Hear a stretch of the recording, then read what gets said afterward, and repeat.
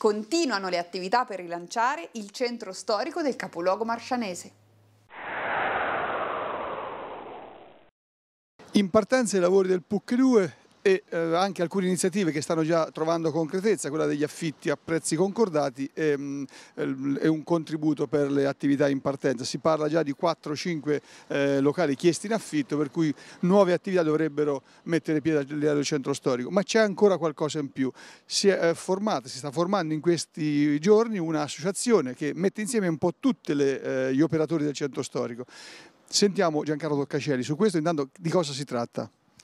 Ma lo scopo di questa associazione temporanea di scopo ATS in, eh, in corto è mm, principalmente quella di mettere insieme tutti gli, i portatori di interessi cosiddetti del centro storico in un'associazione, quindi volendo superare quelli che sono magari gli steccati delle associazioni di categoria, Naturalmente le associazioni di categoria sono indirettamente eh, partecipi di questo, ma è stato creato questa associazione proprio per dare spazio a tutti quanti, professionisti, commercialisti, artigiani, commercianti, tutti coloro che hanno degli interessi economici all'interno del centro storico sono stati coinvolti e saranno coinvolti in questa associazione.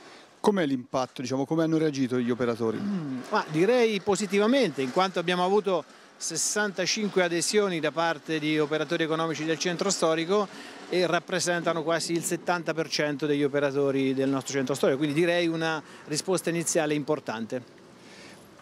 Qual è diciamo, l'obiettivo? Che cosa vi proponete di fare con questa associazione? Allora, questa associazione dovrebbe essere l'interlocutore principale e privilegiato dell'amministrazione comunale, ma eh, anche nei confronti di tutte le altre associazioni culturali, sportive, ricreative che operano nel centro storico per fare appunto una squadra, per fare sinergia e per cercare di riuscire a superare questo anno e mezzo di cantieri eh, che saranno presenti nel nostro centro storico e di vivere questo, questo momento non come una tragedia ma assolutamente come un'opportunità, quindi trasformare l'impegno e i disagi del, dei cantieri in un'opportunità, in un'opportunità soprattutto di sviluppo al termine dei lavori.